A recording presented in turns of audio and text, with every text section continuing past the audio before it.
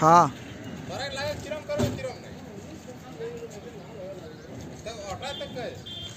तो आवे को चार्ज नहीं कर ले।